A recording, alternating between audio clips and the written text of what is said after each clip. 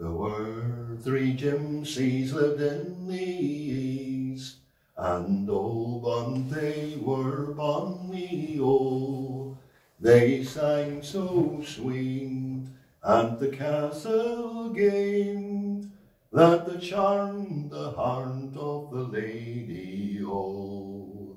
Okay, it's uh, great to be here this afternoon in uh, Cavan Town. Uh, it's Saturday the 18th of June 2022 and we're here to have a chat with one of the greats of Ulster singing, Len Graham. How are you, Len? Not too bad, Cal. Good to see you. So, Same here. great to see you in the flesh Yeah, after all these last couple of years. indeed, indeed. What have you what have you been up to or how's things? Well, started to get live audiences again, which has been a great bonus, and uh, I've managed to do quite quite a bit of work, uh, particularly from March of this year. There's been quite a bit of bits and pieces coming in uh, of all sorts, hmm from senior citizens and then doing stuff with kids again, which I really missed, hmm uh, like for over thirty odd years, Mhm. maybe nearly forty years hmm working with uh, kids, particularly the cross community work that all just hmm stopped two years ago with, Yes. the, with the pandemic, you know. But that's lucky enough it's starting to, to go a bit up, open up again, Yeah. you know. Well, we're just here today, I suppose, to um, just ask you um, about your life and uh, your life in song and, and all the Yeah. rest. But I think, I suppose, a good starting point would be, um, I suppose, where were you born Yeah. and uh, just, I suppose, how did traditional singing, what was your first experiences of it? Yeah. And uh, I suppose, how did it all begin for Yeah. Graham? Yeah. Well, it began December of 1944 in the village of Glenarm, up in the Glens of Antrim, County Antrim. And uh, the, the first recollections I have is of singing. My mother said I came out singing. She said uh, that she sang to me in the womb. Yes. But, uh, certainly my earliest recollections are of song, you know. My father was working in Glasgow Mhm. and um, they, we were living in Glenarm, my older brother Lawrence, uh, he's six years older than me. And uh, we, we, I just started singing at a very early age. I think the very first song I heard would have been uh, Fair Rosa, I think was the very first song I would have a recollection of them singing to me and learning. Like I learned that as a, like I remember singing that since Yeah. we taught, you know. Yes, yes. And uh, it wasn't until later that I found that it was a musical version of uh, the Grimm's fairy tale, uh, The Briar Rose, which was published in 1812, but Mhm. they had it as a song. My grandmother had been born about the 1870s, Right. and uh, she obviously had it in her repertoire from her family, so it was handed down.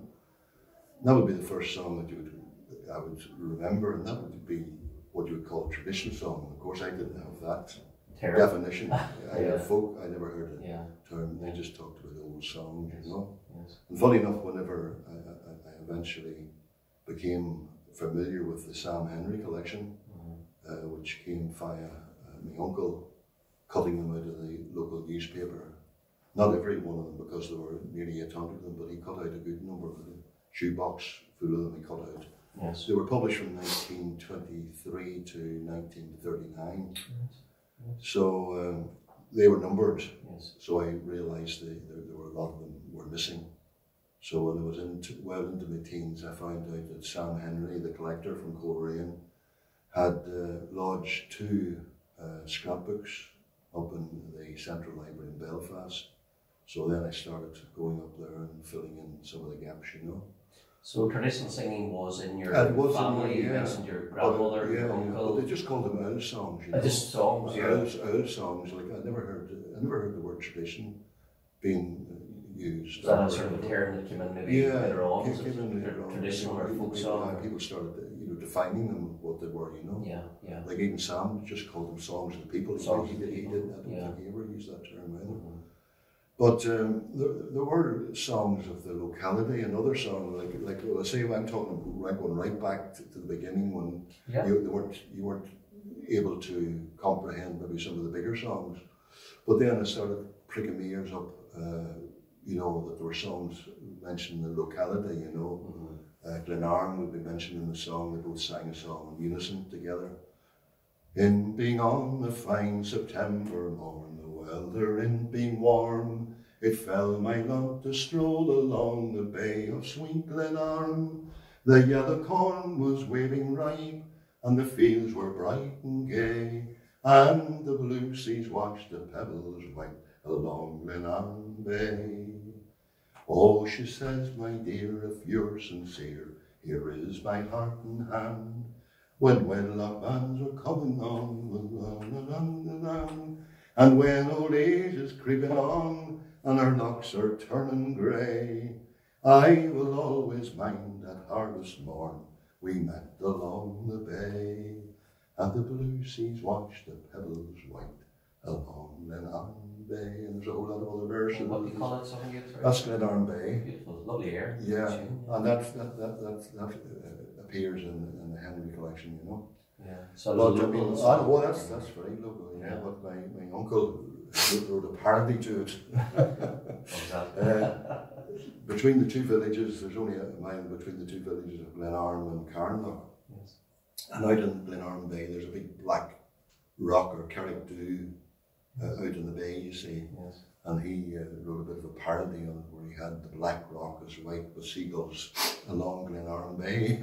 of course, uh, young fella, that'd be the, the version you would learn, you know. but then there was other songs uh, about um, tragedies. There was, there was a, a regatta.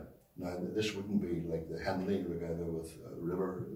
This would be fishing villages like uh, Glenarm and Carnlough and Cushendall and Cushendun, the, the, the, the local fishermen would have a regatta every year with clinker built boats rolling against each other. And there was a tragedy out, I think it was in around the 1860s, out in, uh, out in the bay where, where three young lads from Carnlough were drowned. Was a song about that, uh, a local uh, songsmith or bard called uh, Frank uh, Poet Mackay. He wrote a, uh, his most famous song would be Sweet Carnlough Bay. Right. That'd be one of his. He, was a local man. But he wrote a song about that tragedy. And then there was an, another one even going further back about a shipwreck that went down uh, in the 1830s, 1834 I think it was. The Enterprise was, was sailing from Peru to Glasgow with, uh, they were supposed to be laden with gold and uh, uh, indigo, indigo dye for the, the, the textile industry over in Scotland. And it went down off Glenarm. There was a, there was a, there was a, uh, a song about that. And funny enough, uh, Hamish Henderson, the School of Scottish Studies, was collecting songs in Argyllshire uh, in the 1950s, and he came across a song with the same shipwreck. Mhm. It just shows you that how close, the, the, the, Yeah. thir- 13 miles. Exactly. Yeah. You know, so a, a shipwreck that went down Yeah. Off Glenarm also affected the people over in, in uh, Argyllshire, you know, Mull of Kintyre.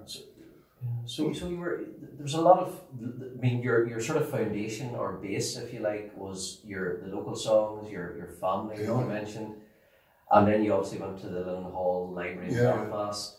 Um, you know the thing about it, the thing that strikes me listening to what you just said there, it, you know, sort of the, the it was all really something you had to make an effort, for want of a better description, to get a song. Oh, yeah. You know, I mean- whereas now there was there's so much technology Oh. and it's so easy to get a song and or Yeah, piece of music or whatever, you know. Well, I mean, the, the resources now are just Yeah, phenomenal. absolutely, yeah. like, I had a, like, I'd be getting songs of people that were born in the, you know, the latter end of the 19th century. Yeah. Hadn't maybe sung for years. yeah, I yeah. could only recall maybe a verse or two. And lucky enough, uh, the Henry collection sometimes would have that song, but not, not all the time, you know, not all the time. Like one song, like I remember uh, going through the, the, the whole collection from 1923 to 1939.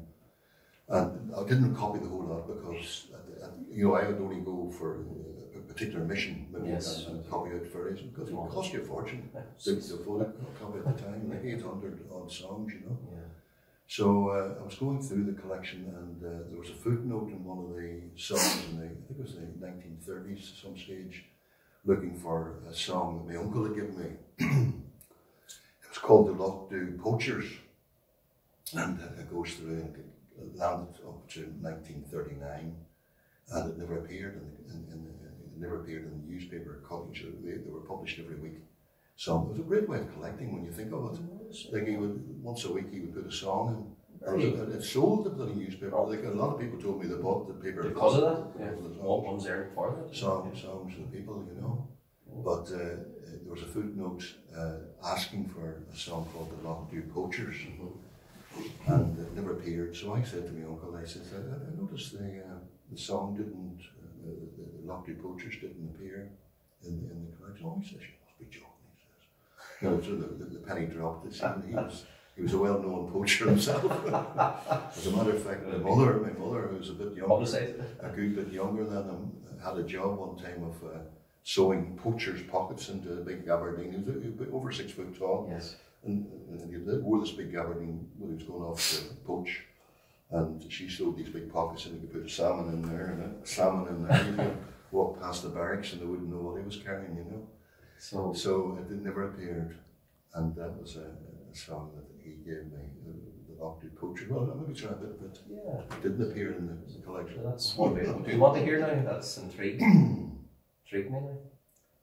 Uh, it starts off with the In being in the month of August in the year of 82, us gallant boys being on a spree went out to shoot Lockdoo. At Tommy Moore's of Keeney's town we all assembled there, with liquor and provision, oh, we did ourselves prepare. The liquor in was very good, and we all drank our fill. Then rank and file we all set forth for Mullocksandal Hill. When we arrived at the top, the polis came in view. First came Bell, the land steward, likewise the keepers too. Since we came here for to shoot over mountain, hill, and field, like true born Irishmen, oh, we would never yield. Oh, polis and gamekeepers, oh, we were not afraid to shoot the hills from Killyglen away round to Knocklane. Come all you gallant poachers that love your dog and gun. These hills and glens are yours to shoot from keepers do not run. For if you do, you'll surely rue. If you don't stand your ground, you'll find yourself transported to Van Diemen's land be bound. Now if you want their names explained, the truth I'll tell to you. There's Tom McGill and Richard and John Graham from Great Dew. Old McCullough and McClure and James Mills, my old friend. And the poet's name I won't explain, he lives at the hill end. Now to conclude and finish, I here will end my, I now will end, drop my pen. And many's a happy hour I spent over mountain, hill and glen. For fishing and for fowling it is my heart's delight, and courting pretty fair maids as we came home at night. It's another 40 verses. That's, uh, that's an interesting one there. Yeah. So, so you were, you were, the, there's a lot of, you know, you, it was sort of a, a labour of love, really. Well, I Um, got I got infected with. It sort of was a drug. For want of better- Well, the fellow used call it a disease, but it was just something that I don't know, it just came naturally. And then, it, it, I suppose, if you go forward, I'm sure there's a lot more there. You know, I suppose then you met, and we're all aware of this. Anybody watching this here, um, this interview, you met the wonderful Joe Holmes. Yeah, well, there's a story behind that too. How did that happen, or where did it At, happen? at- at this stage, I think I have to mention the Antrim and Derry Fiddlers. Yeah. Now, there was two men, two friends of my father's, very important men. Uh, they were a duo. Uh, Willie Hope played the uilleann pipes. Told my father he was a direct descendant of Jemmy Hope of 1798 fame, and he came from the same area. He was from a place called Ballinure. And his uh, sidekick was a fiddler called David McWinney from Dunadry. And they were a well-known, right, going, right, like they were much older than, than, than me, of course, I'm a father. Well, uh, uh, Davy was about the same age as my father, But uh, Willie had been born back about, about the 1880s, I think he'd been born, died in the, the 1950s, 1959, I think he died. But I, I met him at the Antrim Derry Fiddlers back in the 50s. But back in 1951, those two men went down to Mullingar for that inaugural meeting. Well, they weren't called Comhaltas, it was uh, Rowsome and Jim Seery, the Pipers Club in Dublin, that organised the first uh, gathering in Mullingar in 1951. And they all met in a hotel, the Midland Hotel in uh, Mullingar that first year. And uh, that was 1951. So the two boys came back home and decided that something had to be done in the north as well because they reckoned that there was a lot of big major changes happening uh, with all the, the, the, inventions that were coming in with radio and well television hadn't arrived at that stage but there certainly was a lot of changes uh, you know were happening the Americans had been over staying in, in, in the country and uh, brought a lot of new traditions came in at that time the wireless was putting out a lot of American music and a lot of the old traditions were under threat as I could see it a lot of the old dances and the old singing traditions and music traditions were under threat. So they decided in 1953 to form the Antrim Fiddlers, along people like uh, Alec Kerr was one of the, the, the original people, Mickey McElhatton, and uh, very much a, cross community. Before cross community became like a mixed yeah, yeah, yeah, yeah. organization. Yeah, like before before that became sort of known as cross community. The term cross community didn't exist. no, it just came up. Yeah, yeah, yeah, just just good neighbours. They all. Yeah. Mickey McElhatton told me that he learned to fiddle from his Presbyterian neighbour. Yeah. Willie Willie McAllister was his tutor. You know, so I mean the whole thing was. Yeah. That's the way things were. yeah. So that was. Uh, I started going along to some of those gatherings, and uh, then they would intersperse the nights fiddle. Mostly fiddlers. You see, would been in Antrim and the northern counties was the predominant instrument would have been the fiddle, although you would have had the occasional um, flute player and whistle player. Um, Willie would have been quite unique. You see, back in the 50s, the Uilleann pipes was like a rare breed. Like you could nearly, you know, there was you, you, the Rowsomes making uh, the pipes in Dublin.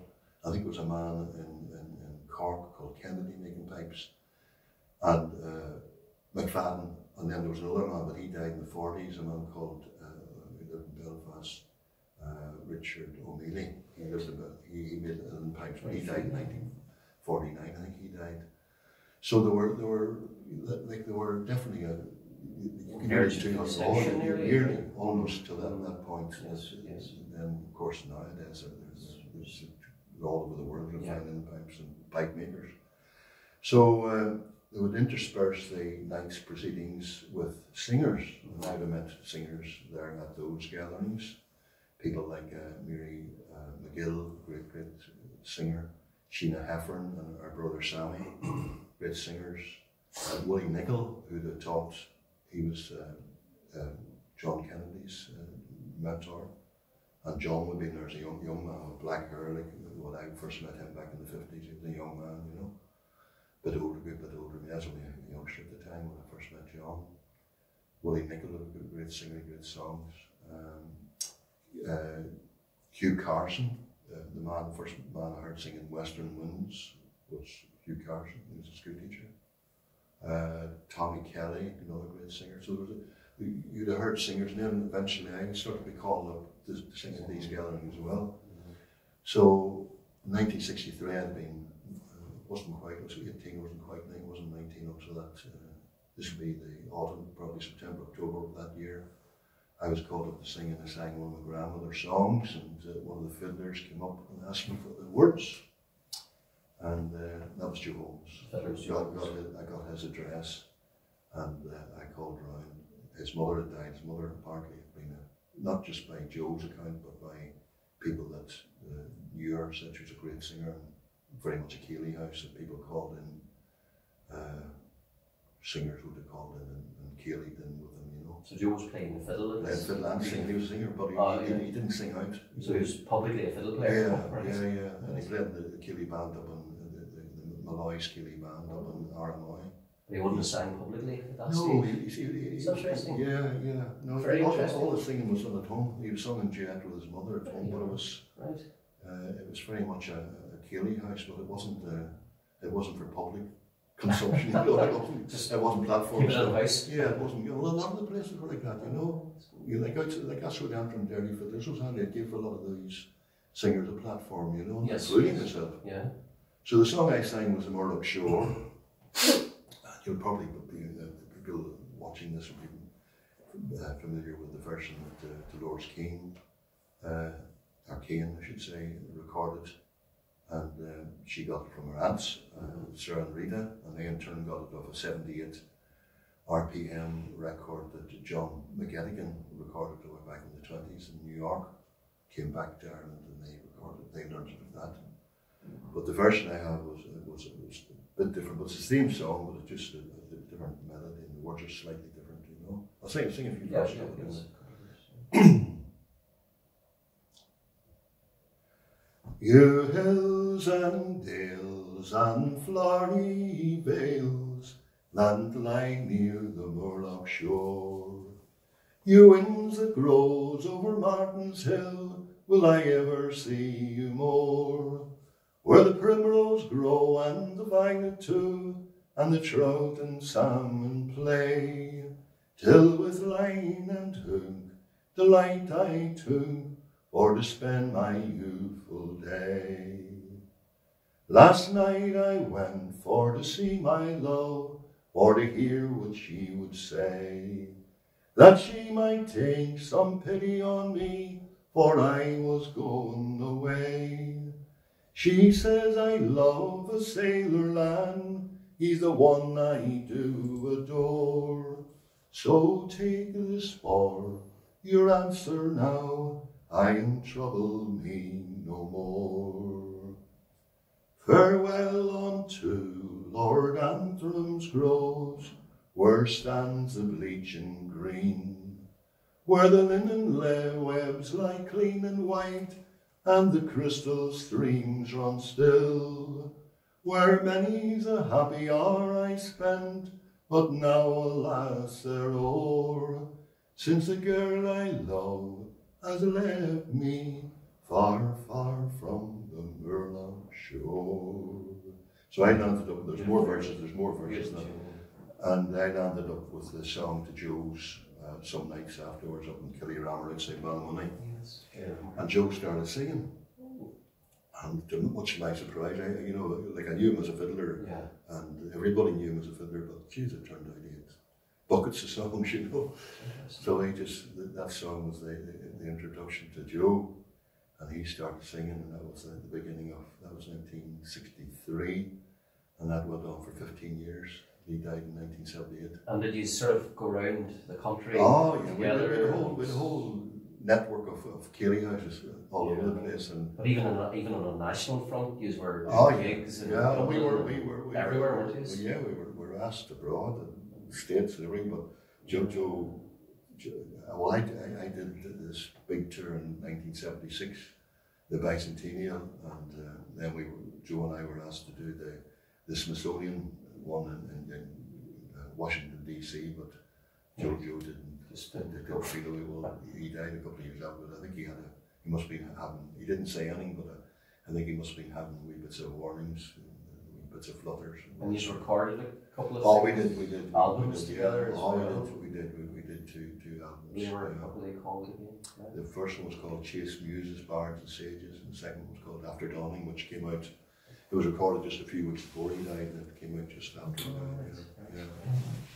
But then Joe, Joe, Joe just opened up with a whole uh, rig of uh, great, great, great songs. That, uh, I think the, the, the thing about you know a lot of singers, including myself, when I mean obviously I never met Joe Holmes, yeah, but those recordings, those albums, they were really much the Ulster songs and lilts and northern. yeah, yeah. You know, there, there was just, just a tour de force album of singing together in unison, Yeah. you and him, and obviously singing solo and lilting. It was nothing really had ever been maybe commercially recorded uh, like as Yeah. like that authenticity. Well, commercial, Before, commercial, yeah. probably commercial would probably would be the word for it. You know, Yeah, Because yeah. although there, it was quite a tradition, like Joe sang with his mother, and yeah, The, Yeah. the, the Butcher Brothers sang together in unison. Joe uh, Eddie sang with his wife Gracie. Not, not an awful lot, but a, few songs they sang in, Yeah. in, in unison together. Not, it wasn't totally unusual, but it, as you said, it was very much a subculture that wasn't uh, commercialized. Commercialized, you yeah. it Yeah, it wasn't- sort of in house, as Yeah. said, you know.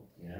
But uh, you know, I, I, I like I'd be listening to like like when you're a songaholic, like as, as I was from an early age. term. Like it, it, it uh, like you, you were you were listening. Like the, the wireless was was a, a source as well. Like Yes.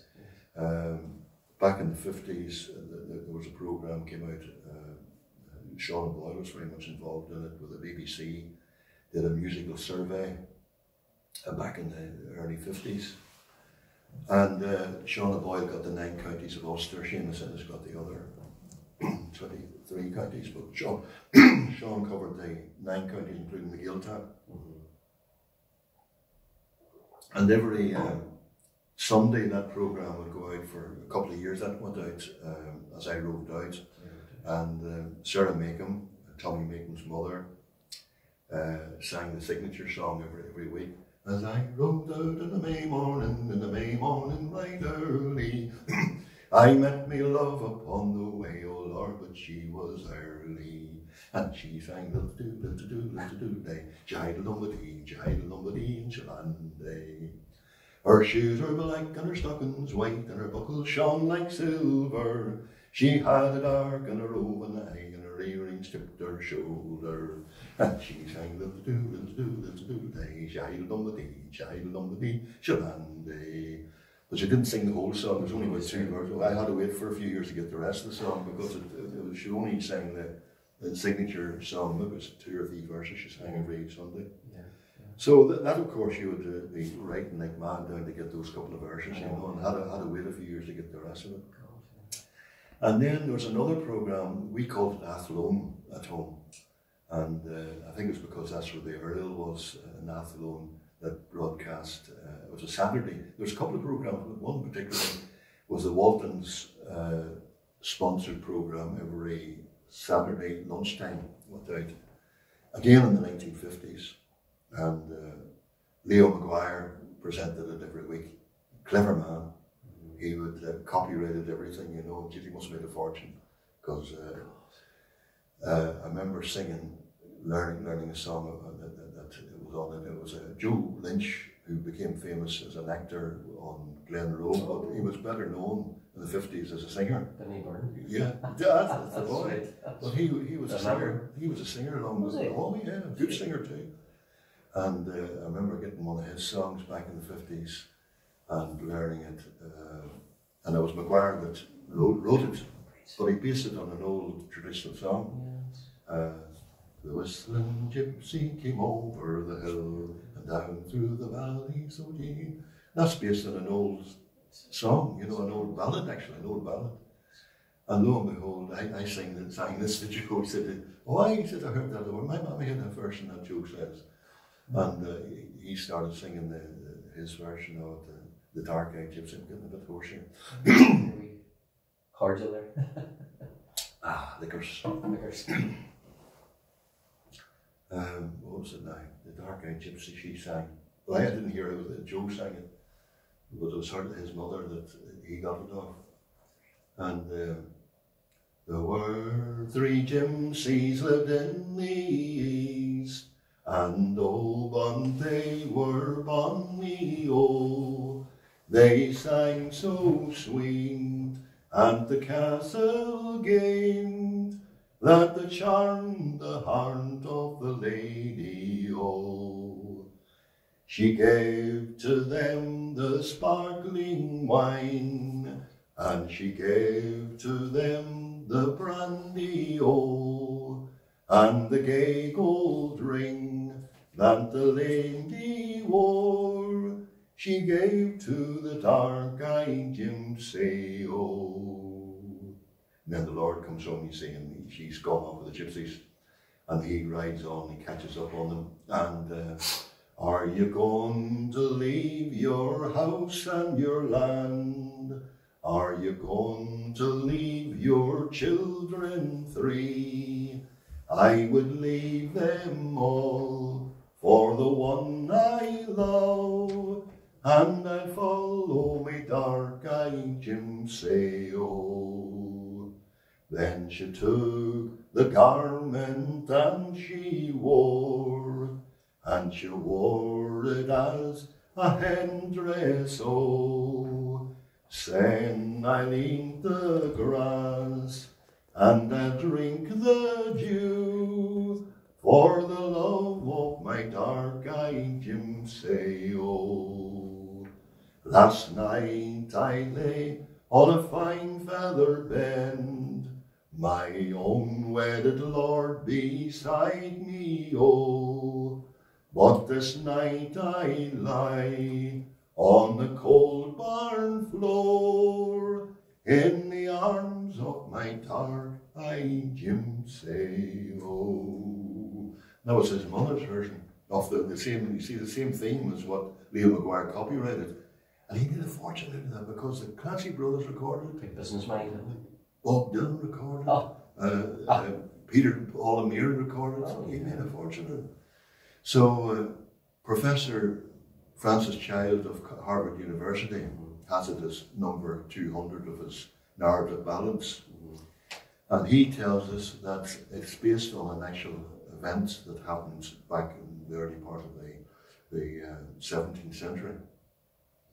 A certain John Kennedy, the sixth Earl of Cassilis in Argyllshire, his wife, Lady Jane Hamilton, ran off with jo- Johnny Fa, the king of the gypsies.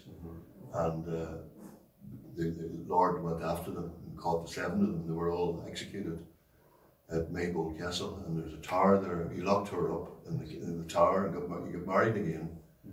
Uh, but she was locked up for the rest of her life in the tower in Maybole. And then he built a big place over uh, up the road uh, sometime when the, the, family are still living there. The, the Kennedys are still living there. and Joe got this from his I think he got that, that version from his mother, but it's, it's one of those songs that turns up all over the place. Over in America and everything, it turns up. Like whenever Alan Lomax was recording for this, for the Library of Congress, he collected a version from uh, Woody Guthrie that, that he had got. They, they lived over in Oklahoma, Oklahoma, and she had a version of it. Not, not that version, but the same theme and the same event that had been recorded. Uh, and you can hear in the recording 1941, Lomax asking Woody Guthrie, Where'd you get that song, Woody? Got that from my old mother. You see, my mother, he said, was a, an ear player. That don't mean she wriggled her ears when she was singing. and I have to say that most of the most of the people that I met over the years were, were ear players, and there's very few of them who would have been able to Musically really. No, they were all. But they- but that's the way they. So you were, you were with Joe for, was it 15 years? Because of that, yeah. So, so in that time, I suppose you would have travelled the length and breadth of the Oh, yeah. and like you would have met singers, I suppose, along the way like Eddie Butcher, Oh, and yeah. Geordie Hanna. Well, that's another story. Uh, That's another story. That's another story. yeah. My let's go there. My father used to say that I was like a terrier dog. I mean, I got the, whiff of, of a song that told me away, uh, chasing the scent. and I heard that there was a singer, and he had a very unusual address, this man, a man called Jimmy Spallon. And he lived at number six, the Twelve Apostles, Castle Rock, County Derry. Right. So I got it headed off for the 12 apostles and there's uh, 12 labourers' cottages as part of the, the downhill estate. There had been a big castle there at one time, but the, the, the roof had been taken off because the, the last of the, the family, the, the Hervey Bruces, had died. Well, the, the story, the, boy that I went to see anyway had been a coachman, or a, a groomsman for, for, the, for the Hervey Bruces in the big castle, you see. And I said, what happened to the, the, there's no roof in that place? He says, do you believe it or not? There's not a window in that place. Do you know how many windows that are in there? And I says, no, there's one for every day of the year. There's 365 windows.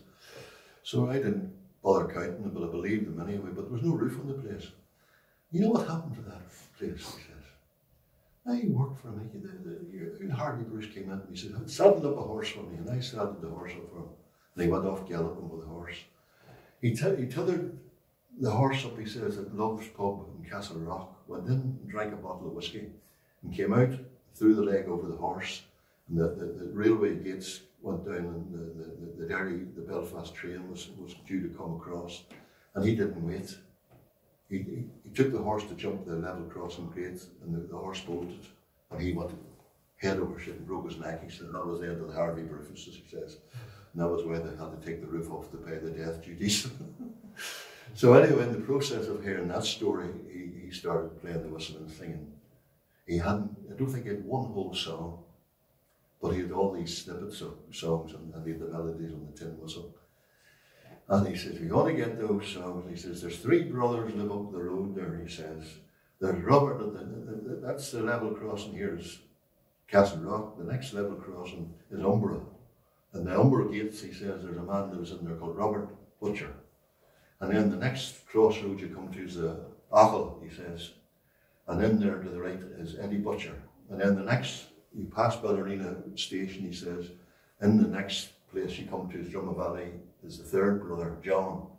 Great men, those men are all good singers. You get the out of those boys, you'll hear some songs. Well, I landed up, I was too late. I just missed Robert. Robert had died, but Eddie was still very much to the fore. His other younger brother, John, was very much to the fore, but at Drumma Valley. That was the beginning of another. I landed up at Eddie's.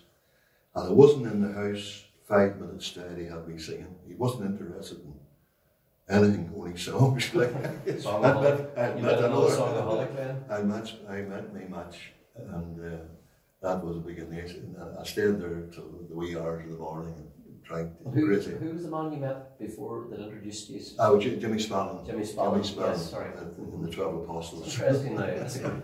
Twelve apostles. What an Number address. yeah, oh, yeah. Very, very angelic. Oh yeah. I had to sort that one out.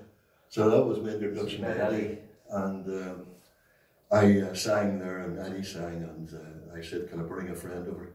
Well, it's a, it's a male or female. "He's male. It doesn't matter." He said, "What? It's like, can, they, can they sing?" And he said, "He said, yeah." So I brought Joe over. The next a few days later, we landed up, and that was the beginning, of course. They, they, they both fell in love with Joe, and, and Gracie loved loved Joe. They all, everybody, anybody that met Joe just fell in love with him. He just that personality, Yeah. you know. Yeah. Affable person. Yeah, yeah. So that was the beginning of another friendship, and that went on for both. he survived Joe's death, and uh, he died in 1980. He'd been he was born in 1900. Joe was born in 1906.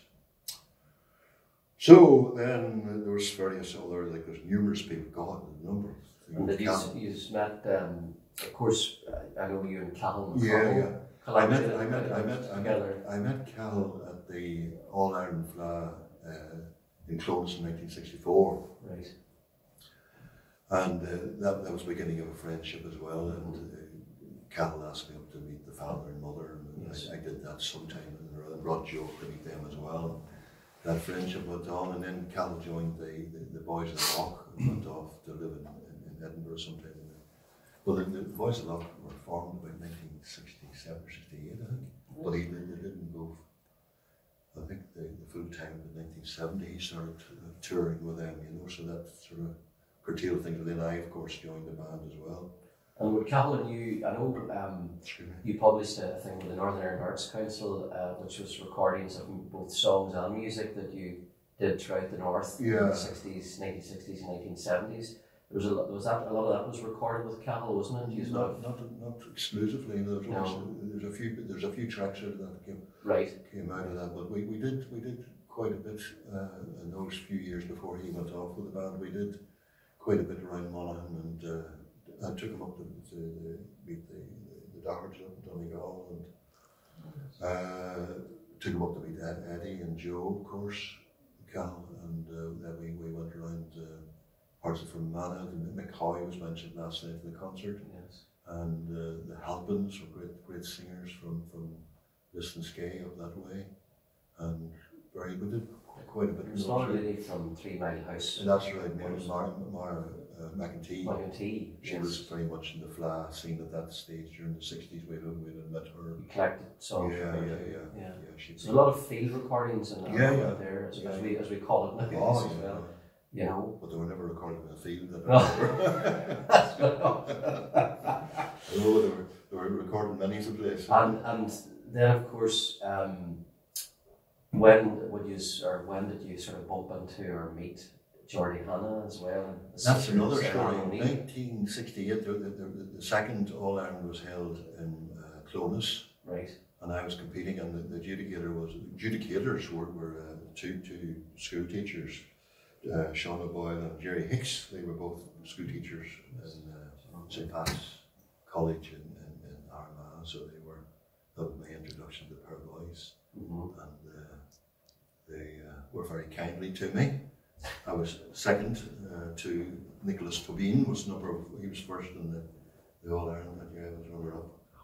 And uh, became friends with uh, Sean, uh, both of them were, were, were very encouraging and Yes. great help to me Right. Whenever the big book came out uh, in 1975, folk songs of um, they came out of that collection of the BBC survey, Mhm. uh, the folk songs of uh, Britain and Ireland Oh, yes. came out. Yes. Uh, Sean asked me they, they, were, they were reviewing it on on BBC, and he asked me to come in and sing a few songs in the studio. Mhm. And um, he was great, gave me great encouragement over the years. You know, like, like, those, those, those are the sort of things when you're young, you get uh, people that, that, that, you know, like I never, I, I, like I must say, like everybody was, was you know, like, like we're always very, very generous uh, with, with their Well- songs and with their encouragement, you know. I know with myself, just on that point, um, you know, I'll take this opportunity now when we're sort of being officially recorded or you're being officially recorded. You were a great sense of encouragement to me growing I mean, Um, when, I, when I see somebody young you know, coming along, I mean, I first met you when I was about 10 or 11 years old, yeah, and the company, I met you in a wee place called Rouskey, which oh, was yeah, Gortin in yeah, County Tyrone. And I remember, you know, I was just a cub, as we Yeah. call it in Tyrone, yeah. and you were along with John Campbell. And I remember, you know, you were a renowned singer at that stage. You, know- you know, I was just a young lad who was very enthusiastic about the whole thing, and you know, you were very encouraging. Yeah, you know, Just take this opportunity now to publicly, if you like, thank you for that. Oh, you know. no, sure, that's. it's And you're always at the end of the phone if I needed any questions No, answered or anything, you know. Like I said, You know, and that's thinking, that, that as you say, that's Well, I mean, that, that means a lot, you know. That, that, that Means a lot. That, that's what kept me going was, was getting that uh, encouragement and from, from my own family and from, from people that I met along the road and always. I don't think ever encountered anybody that didn't uh, help me along the road, you know. But just when you mentioned Sean O'Boyle, um, just the the um, I think this is a very interesting story. I'd like you to tell it. Uh, we've talked about it a few times over the years. It was something about an event. Was it in Newry? Oh yes, yes, yes. Sean O'Boyle, was, you were there, and uh, sure. It was a gathering. It was a, it was a gathering of singers, and uh, Ulster singers particularly, and uh, who all was there? There was Sarah Ann O'Neill and Geordie were there. Joe Holmes there. Eddie wasn't there at this stage. Um, Paddy Tunney. Paddy Tunney was there. Well, anyway, was, there was a whole gathering of singers for this thing, and Sean O'Boyle was part of the the, the, it was called a seminar. It was a singing, a singing seminar, Right. and uh, it was organised. It was in the Ardmore Hotel, which is now the PSNI uh, headquarters, but it was demolished and I think it was actually blown up. and uh, it's now it's now the PSNI. But it was a hotel. But at this stage, back in the well, Joe was alive, so it must have been mid seventies, seventy five, we'll call it. And um, Sean was given a talk, you see, in this collecting that he did in the 1950s. He did a big reel to reel tape recorder. And he was playing examples of it. Had a notebook and he had a reel to reel, and there was a counter on. He was able to fast forward or rewind and play these uh, big reel to reel recordings that he had. Lovely, lovely recordings that he had made of singers, including Sarah Makem and Paddy Tunney's mother, Bridget, and various singers that he played over the, the while. And at the end of the uh, talk, I think it went on for an hour, maybe an hour and a half, he was Very interesting, some lovely recordings, you see. And uh, at the end of it, there was a question and answer, you see, and uh, somebody in the audience asked, uh, how would you define traditional singer, you know, what, what makes a traditional singer, you know? And uh, Sean just sort of paused for a minute. He said, just give me a minute, give me a minute now. And he consulted his notes and, uh, oh yes, yes, just give me a second now. I'll find this here. I have the, I have the number here. I don't know whether he fast forward or rewind, but he pressed the button and he was watching the counter, you see, and he stopped it. Now, he said, that's that year 1953, and the singer here is George Hanna, and I'm going to play a song. The song, the song was called The Factory Girl. And he pressed the button, he played one verse of it. And he stopped it and he said, Now, just by coincidence, there's two people in the audience here today. There's a Geordie Hanna, who would be a nephew of that man that I'm after playing. And uh, I would ask Geordie, would you mind getting up and singing maybe uh, the next verse of that song? Geordie got up and he sang verse two of The Factory Girl and sat down. That was okay. And by coincidence, there's another lady here, and her name's Sarah Ann O'Neill, who happens to be a sister of the previous singer and a niece of the first singer. And going to ask you, Anne, now please, would you sing verse three of The Factory Girl? Sarah Ann got did what she was told to do and sat down. Now, I would say that would be my definition of what traditional singing is about. You heard George Hanna singing The Factory Girl. You heard Geordie Hanna singing The Factory Girl. You heard Sarah Ann singing The Factory Girl. They weren't identical, were they? They weren't. They weren't identical. The wee George was very straight. You Yeah, yeah. I don't think in one burl in it was George used to talk about burls, Burls. put the burls in. and uh, Geordie put plenty of burls in, and Sarah Ann lesser to lesser, but not, you know, decorated but not over decorated, you know. Individual. So individuality, so individuality is what it's all about. You know, he says, you, you know, everybody should find their own voice and their own way of singing a song. There's no right way of doing it. Just do it your own stuff see, that, that, that, that um, I suppose the reason I, I wanted you to tell that story is because it leads into my next point. When people talk about, obviously, what is a traditional song, Mm. right, is the first thing, or folk song, as some people prefer to call them, Mm. or what is the Ulster style of singing. You know, this is, you've quoted a story from Sean Boyle, who was, shall we say, a, an authority of a collector, um, published works. Um, there is no definitive No, overall style. It's No. as you say, individuality. No. You know, there's three members of the one family: Oh, an yeah. uncle, a nephew, and a niece. yeah, yeah. George Hanna, Geordie Hanna, Sarah Ann O'Neill. So, so that, that, that, that to me is an extremely interesting point for anybody Yeah. watching this here. Oh. Um, this, you know, this this interview. It's there's no there's no you know maybe in regional style there's regional songs, Oh, yeah. Ulster songs, Yeah. but there's no overall regional style. Sure, maybe, maybe it's more suited to music. I, Yeah. don't know. I'm not a musician. No, But, uh, no, you know, you, you'll find that you know. a good traditional musician Mm. should, also, now, maybe every time they play it, they tune they play it differently. You're not the Yeah. same with the singer. Yeah, yeah. you're not singing it, you're not reading dots off a page. So you, you know, you're, you every time, every every So this is something that I've always tangled. I think we've all thought, certainly thought about. You know, that, that there's individual. Everybody has their individual style, or they should have. But sing maybe the songs from their own area. You know, or try and learn as many as one can. yeah. Would that be something that you would Yeah, well, I mean, advise I, would- or, I would- encourage? I, Or would, I wouldn't be too precious about it because Yeah. because- because of the times that we're living in. Like it's like it was different when people were just living in the one area and didn't move out. Like I met an awful lot of people never never moved out of their own house. You know, maybe or somebody very very little. Very Did he little. travel far? No, before he met you? No, well, his first job was carrying the red flag in front of the steamroller. uh, And filling in the potholes, you know, but Yeah. they'd taken the fiddle along and they brought the caravan along and you know, Yes. the, the, the, you know, the ceili along the road, Yeah. filling in the potholes during the summer months. Yes. That was his first job at 14. Uh-huh. And he'd taken the fiddle along with him and, and went in and ceili around the, the Glens of Antrim at that time, you know, back in the, he was born 19, I'd been in the 1920s, you know. So, outside of people, there's some people who, once a year, they've go to the Lammas Fair up in Ballycastle, that would be their outing. Once a year, you know, then outside of that, they weren't very far travelled, you know. So when you met in '63, I mean, when would have been the first gathering, if you like, for want of a better word, of a group, a large group of singers together under the one roof in the one room? You know, the likes of Geordie, Eddie Butcher, Joe, yourself, you know.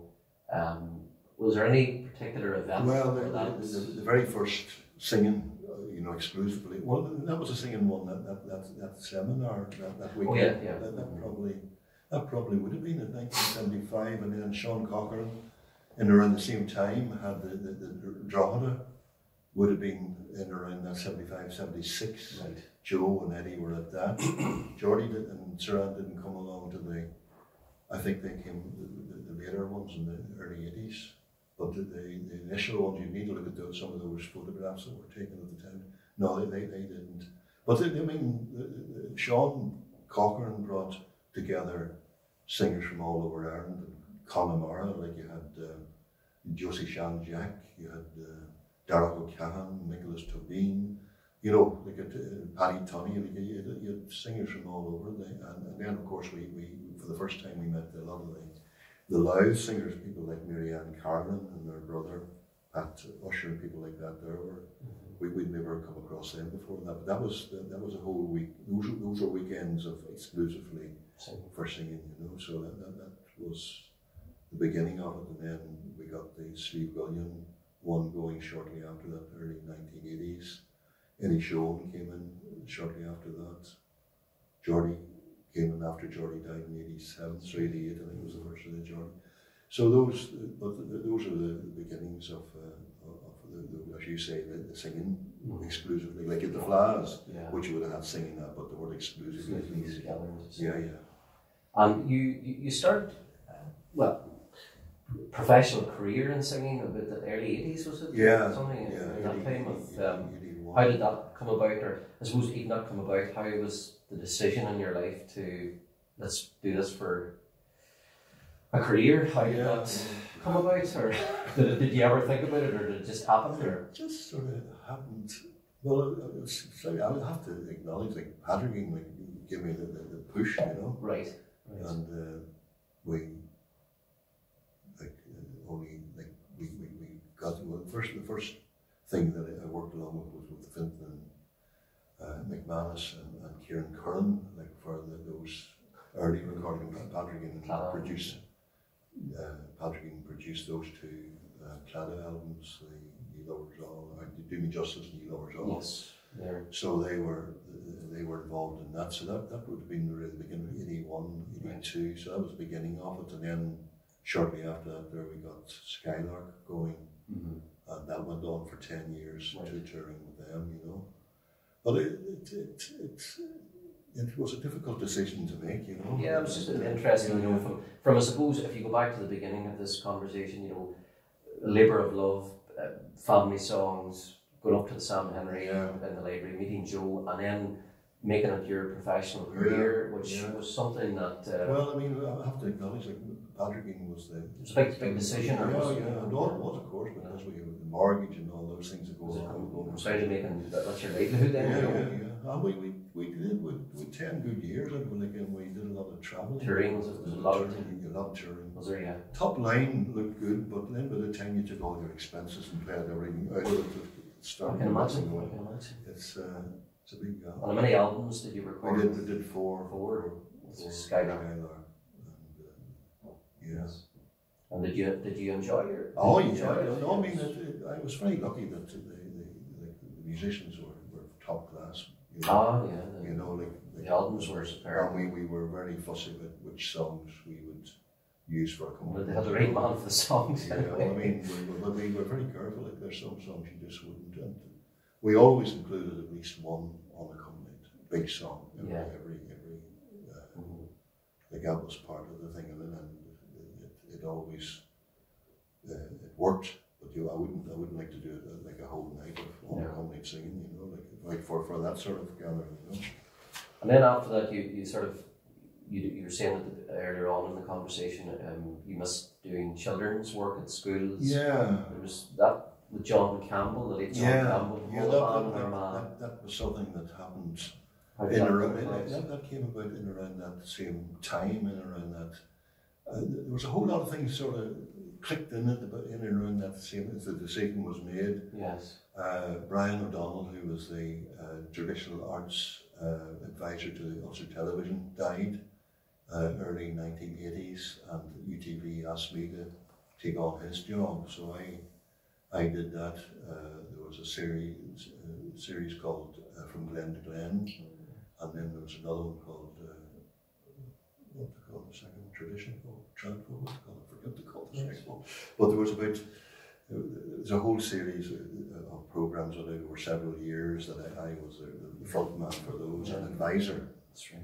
And I used quite a lot of archive stuff that uh, that the UTV had in, had made in the, or, well, see, television only started up really in the early 60s.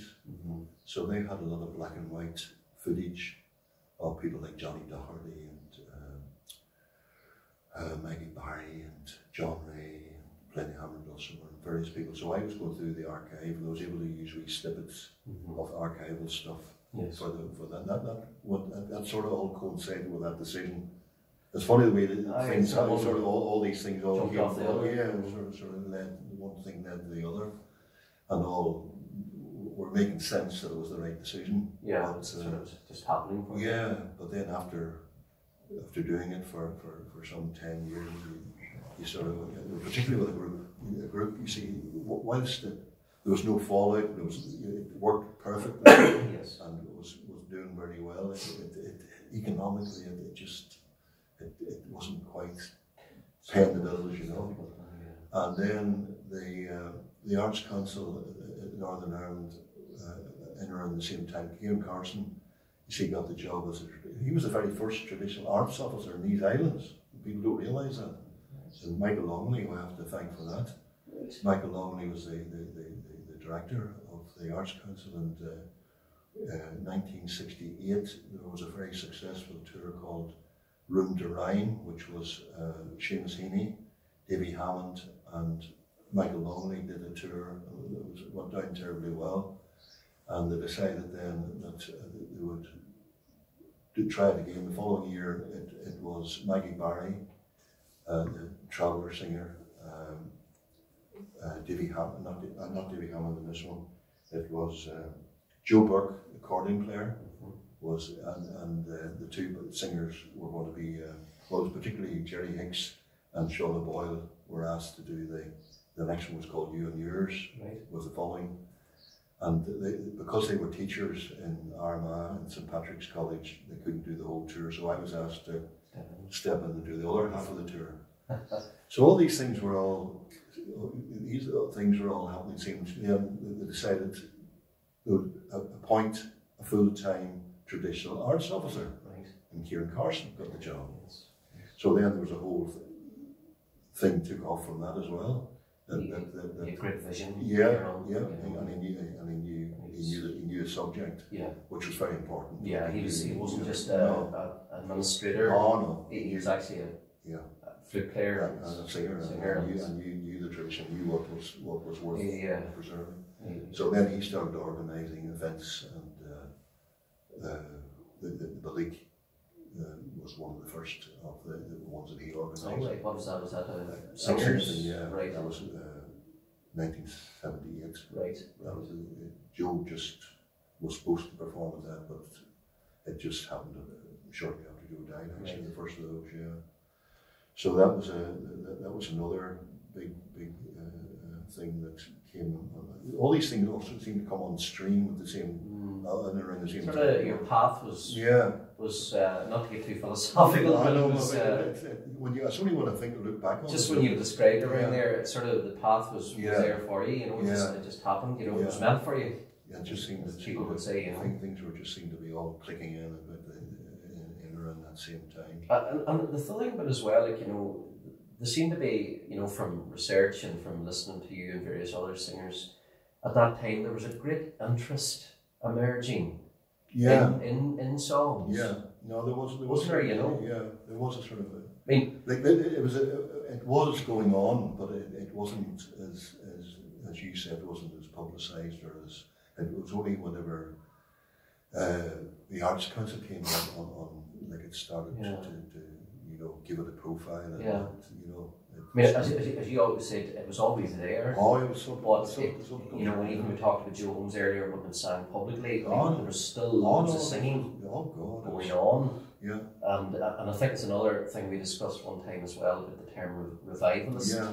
You know, it Yeah, wasn't didn't, it, didn't, it didn't need to be revived. Like it, it was going on. It, was- it was existing in Ireland, in and I, you Ireland, know, particularly in um, Ireland. I mean, I know that term's used, as you say, quite a bit out in England probably were, were, in Britain and stuff, you know, but- yeah, where, where, where things had changed with the industrial revolution. Aye, that- that aye. changed a lot. But when you hear some of the older recordings that were made uh, way back in the early part of the century, you can see that there was a good tradition there too, you know, Mhm.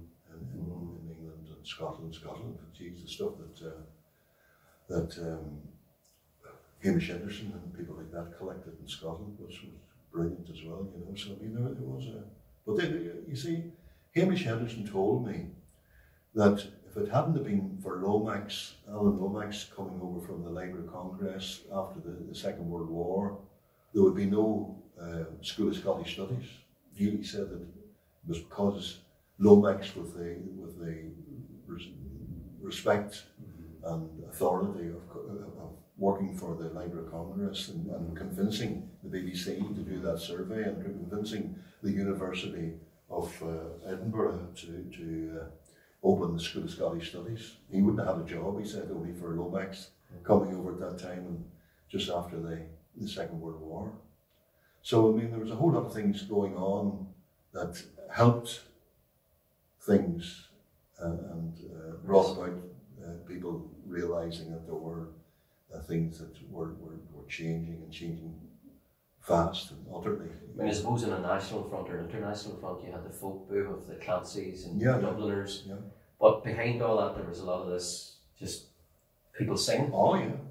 playing music, you know, in country houses or dance halls or orange halls or wherever they were doing it, you know. And the, tra- the travelling community, course, as well. Absolutely, yeah, yeah, absolutely. But um, much keeping it alive. I mean, it's it's been a life of of, uh, of song and uh, labour of love, as I keep saying, and um, meeting uh, people that we've mentioned throughout this interview Oh. along the way.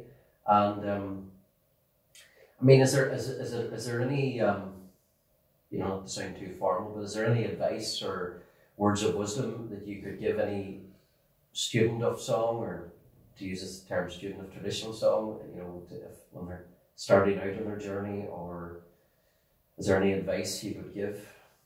Well, it's it's a lot easier now for, for people for people to to you know there, there's so much available now. Uh, you know, you, sometimes you have to look beyond Ireland too, and beyond, you know, you, that, that uh, like I, I mentioned to you yesterday in, in conversation about uh, the, the collections that are available over in, uh, States, for instance. You know, Yes, yes. um, there's there, there, like one thing about America and North America and Canada, uh, you know, they, they were at it way back. You know, they were with the technology. They, they, they yeah, yeah. So you'll find all sorts of resources over there, and you'll find like I've found extra verses like that, that, that, that haven't survived here. That uh, turn up, uh, turned up in, in America that went across with immigrants way back, even the earlier immigrations of uh, the uh, 18th century before the famine, like there were songs went across into the Appalachians and Ozarks that, that, that turned up like that one. That was like the most famous song uh, to that, mention that uh, Joe, Joe? Joe, like the tantalizing uh, song that Joe had only one verse and the refrain to was the Rambling Irishman. And uh, It was a version yeah, well, it, you see, the, the uh, th- that, that's the thing about, about songs. Like it didn't, it didn't uh, turn up in the bloody Henry collection, so that was the frustrating thing about it. Like Yeah. so, then it, it did turn up in Belfast, like because Joe, uh, going as he did with the fiddle uh, as a youngster, twelve year old down to a neighbour. His brother emigrated after coming back from the the First World War, and uh, Joe had to go down to a neighbour to get fiddle tunes and get more tuition. His brother was a fiddler too, but he had emigrated to Canada. Harry. So he goes down to, to Willie Clark, to just uh, half a mile down the road to get tunes. It turned out that it was a bit of a ceili house as well, and they were singing and all sorts of things. And one of the songs that, uh, that Willie sang was the Rambling Irishman. And uh, Joe could only, he was more interested in that Well, he was getting songs at home, see, from the mother Aye. But uh, he, he couldn't remember any more of the verse and the chorus or the refrain. But then the, the the daughter, one of the daughters of, of Willie, had emigrated to Belfast uh, after the uh, First World War in the 1920s to Belfast, And she was older than, than Joe, and uh, he got her address, and I noted down. I got the other three verses, and then give it to Cathal McConnell. He recorded it with the Boys of the Lough, uh, give it to Dolores Keane. I think she was 14 at the time, Yeah. and she recorded the first De Dannan album. And who else has recorded? Dick Collins recorded, Cherry Salinas recorded it, you know. Battlefield Band recorded, you name it, The World and the Wife was recorded. Yeah. And um, lo and behold, it's turned up in the Ozarks. Yes. Uh, a man called Max Hunter, uh, after the Second World War, he, he was a, a commercial traveller for electrical goods, probably vacuum cleaners and things. And he got one of these newfangled reel to reel tape recorders, 1950s. Mm. And he's going around the Ozark Highlands Yes. and uh, very remote areas and selling, trying to sell appliances. But he'd take the tape recorder with him again, he'd record. And he came across this woman, uh, Bertha Lauderdale, up in the Arkansas and uh, the Ozarks, and collected the, the, the song from her. And she had learned it from her grandfather, Tom Mulderley, who had left Monaghan in 1834, way before the famine. Good, And uh, people can, you can resource that in the Yes. Max Hunter collection. You can hear the story? Yeah. So, uh, so I'll, I'll- sing it. I'll sing a few verses of it. I'll sing the last verse. It came from from from Bertha Lauderdale. I'll sing a few verses. so Joe Holmes was the initial thing, and then Mary Clark, who was uh, Mary, uh, she was McQuiston, was her married name when I tracked her down in Belfast and, and got the other three verses. But I'll just sing a couple of verses of hers, and then I'll and Joe's first verse, and maybe one of her verses, and then I'll finish off with. Uh, with uh, Bertha's last verse. I am a rambling Irishman, in Ulster I was born in, and many's a happy hour I spent on the banks of sweet Lough Erne. For to live poor I could not endure, and like others of my station, to America I sailed away, and left this Irish nation. Right hand in the na, tant in the na, right hand in the nur and the nandy. Excuse me. there you go, you sip of the election.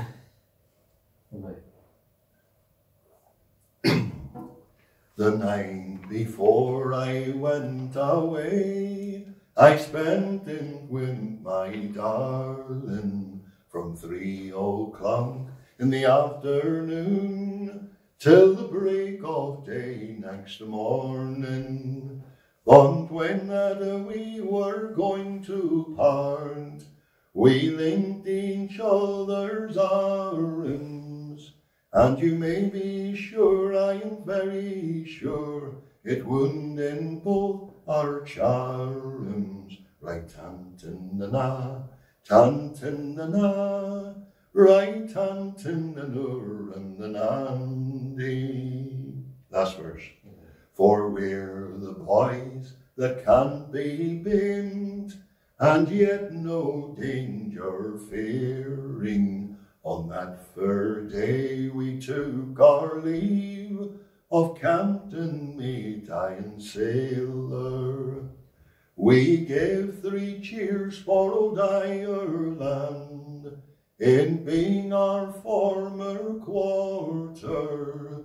Like a flock of sheep we strayed away, shook hands and we parted. Right hand in the na, tant in the na, right hand in the nur and right hand in the na, tant in the na, right hand in the nur and the nandy. Right. Well, there's numerous other singers that I haven't spoken about yet. I'll keep you here before in the morning before I get through half of them, you know. Yeah. But uh, I don't know. So there's just so you just listening to you, there's, there's just a, a, Well, a journey of song there. You know, um, for anybody watching this here, that you've it, just a labour of love Well, a labour of love. there's some great memories I can tell you. Have you any other memories you'd like to share with us? Well, there's there's so many. But if it, we've covered a good bit of it. But there's an awful lot of singers I haven't covered, I haven't touched upon really, you know. Uh, People you want to talk about? well, there's there's there's there was all sorts of people. Delia Murphy was was another singer that that, that uh, would have been recording back in the, the, the, 30s. People don't realise that she made her very first debut recordings with Richard Hayward. Richard Hayward was from, from Larne, County Antrim, but he, he'd been one of the first people to, to make commercial recordings of what we call folk or traditional songs way back in the 20s and 30s. When she came on the scene in the 1930s, he was already well established and she uh, recorded a duet with him. Uh, it was her very first recordings. But uh, he was making uh, recordings. Like there was one particular one that I sang up in Coleraine, uh, the university where I first met Pádraigín and her sister Eithne, and various other Brian Mullen and various other people who had been up at uh, Fintan. Uh, McManus would have been up at Coleraine back in the, the 70s. Gary Hastings and all those. Uh, there was a great gathering of those people that, you know, at that time. All happened to be there. Oh, yeah, and it was great. And um, I remember uh, the, the first uh, department, uh, the Irish Studies up there in Coleraine, there was a man called Coleman, Coleman O'Houlihan was the director of the, the, the, the thing, along with a, a cousin of Pádraigín's, uh, Jeremy, Devlin, Jeremy uh, Devlin, would have been uh, would have been involved in the department back at that time. But and Liam, Liam O'Doherty, was the other man uh, up there. But they used to bring me in, you see, and I, I would bring the, the, the, the Ulster Television would have been formed in the early 60s, and then their, their um, cameras were, were updated uh, probably in the late 60s. They got new equipment and then they gave all their old equipment to the University of Coleraine. So they had it up in their communications department, and Liam and uh, Coleman decided that they wanted some uh, film made and involved me, and I brought uh, Joe in, and brought Eddie in, and brought Sammy Wade playing the pipes, and various people in, uh, local people I brought in to, to, to uh, record them uh, in, in the thing. But uh, uh, Sean Boyle was up one time, you see, with, with Jerry Hicks giving the talk, you see, and then we all went back to um, uh, Jim Boyle. Jim Boyle was no relation of uh, Sean Lee, the pub in Coleraine and Abbey Street called the Oak Tavern. And uh, we used to have sessions in the back room in it, you know. So we would uh, go back there, and they, uh, they brought up one time, they brought this wee boy from, he just died there recently, uh, called Albert Fry. Nice. Uh, Albert Fry was uh, singing in Irish. He'd, he'd gone up to the Gaeltacht and, and back in the probably the 50s and, and um, became a real Gaeilgeoir, you know, and, and singing a lot of Donegal songs. So he sang this song in Irish, and I replied to him in English, the same song. and it turned out that Sean Van Magrena, who was a local uh, songsmith and, and Gaeilgeoir from Ranafast, had given and translated uh, Richard Hayward's recording of 1930s of this song that I'd learned off a gramophone, an 078 RPM record, Nice. you know. Nice.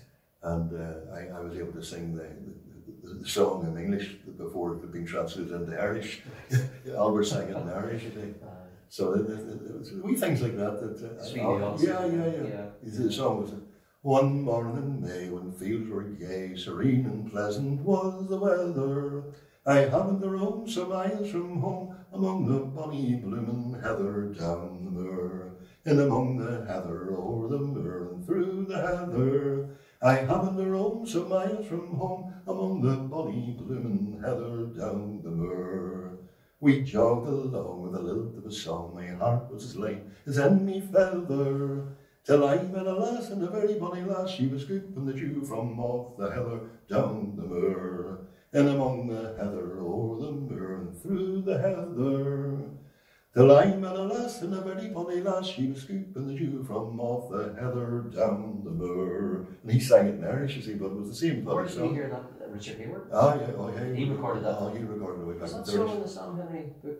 Uh, There's versions of it. There's versions all over the place. Yeah, I think I've heard you sing Aye, it before. but I, yeah. I, I sang it over uh, at one of the Edinburgh festivals, and uh, Hamish was in the, Hamish Henderson was in the audience, and he says, "That's uh, remarkable. That's got a great version of that song. I must send you, I must send you a version of that when I get back to my office." And I was back back in a fortnight later, a big brown novel landed from the School of Scottish Studies, and uh, opened it up. Here's a version of the song, handwritten and signed Ro- Robert Burns, 1786, co- collected from uh, Jean Glover, Jean Glover in, in Kilmarnock. He, he, was, he was collecting for, for Johnson, James Johnson. He was collecting, he was a song collector, so as well as being a yes, poet. yes. And he had collected this from Jean Glover, and a footnote from him, he says, uh, You're glad to know that Jean Glover emigrated, and she died in, in uh, Letterkenny in 1805. so, did, did she bring the song over with her? Aye. How did they get into the Irish tradition, you know? All, the, all these wee connections. That, It's, it, it's, Yeah. it's, it's all a, it's all like a, you Oh, know, we used the term during this interview as well about I give it to, uh, yeah. he give it to, you know, it's like Oh, yeah. you giving them, giving them a drug. Oh, I give it, you know, it's, it's, uh, it's, yeah. It's, it's the way, it's the Oh. terminology and the wording we use, you know, I mean, or I got it from him, or I got it from her, Yeah. you know. The whole thing is just a, a big jigsaw that just It's a jigsaw, these so many pieces. And then when you think you have the jigsaw oh, You know, another way you think There's another- pops up out of the. like that, the Ramblin' Irishman there to me is the Yeah. big one, you know, I oh, mean that, Oh, but that's only one of the Jesus Christ. but that's like, it's a song that everybody's heard, you Oh, know, yeah. and then there's this discovery of the Max Hunter Yeah. thing, you know, it's, it's amazing. amazing. know, I mean that's that's that's the whole beauty of the thing that it is such a diverse and. And I think I think I think the one thing as well, I'm sure you would agree, is when, when you get into this for you know you learn songs and then you sort of try and get different versions and make, Ah. make your own version Oh, yeah. of, of a song, very much. and I think that's very important as well yeah, yeah, because then and then it means a lot more to you because you've done a bit of homework, exactly. um, and then you feel proud of what you oh no, have achieved. You I mean, it's, it's, all, it's, all, it's all the memories that come along with it as well. Like Ah, every, yeah, every, every, every, song that I sing, it's got there's so many memories Oh. and people and times and crack and fun and, and venues and all what happened. You know, it's it's. Um, Was there anybody else you've met there you want to talk about? I think I think we've covered a, a brave, but I, Yeah. I think we've covered a brave few of them there in the, the course of the of the. Uh, oh, there was there, there, there were so many. Like as I say, we could go on for, for, for weeks. Songs and people and places and memories and stories that go along. Well, do you want to maybe sing us a song and we'll Yeah, a bit of you? we do that. Well, the some of the, I mentioned some of the singers in the uh, at the Antrim Derry Fiddlers, which would have been some of my early public performance. Although my, my first public performance actually was in the the Rose Hip Factory in Glenarm. During, the Second World War, there was a, a, a little local industry started up because they, they, they couldn't get vitamin C, oranges and things that got words, scarce commodity, you know. So somebody came up with the idea that rosehips was very high in vitamin C, and they started up this rosehip factory in Glenarm. So my aunt was the, the secretary to the boss, and uh, she used to organise these wee concerts. So my mother and I would be, I was really lucky at that at the time, being there singing uh, in the rosehip factory. But um, um, yeah, the uh, what was I going? I was going. I was going into something else there, but I forgot what it was. I've forgotten where, where it's going there. I was going leading into something there, but I've forgotten what it was. There's so many. So many, it's, uh, there's so much, so Yeah. much stuff to say, and uh, Oh, Jacob. Oh yeah, one of the singers. I, I knew there was some. One, one of these great ceili houses that uh, old an old old friend of the family. Actually, we got the phone call. We, we were living in Portrush at this stage, and uh, the phone rang. It was uh, Mary Mary McGill, one of the great singers that have met. Way back, she was a neighbour woman, and uh, the, the niece rang. She wasn't married. Her, Patrick had died, and her brother had died uh, some five years prior to this. This being around the probably late seventies, probably. Got the phone call anyway uh, from Anna, uh, the niece. Uh, Mary wants to see us. So I got my mother. I wasn't married at the time. Mother and father into the car. We headed off uh. We're outside in an arm into the house, and uh, Mary was in her deathbed. Priest was with her.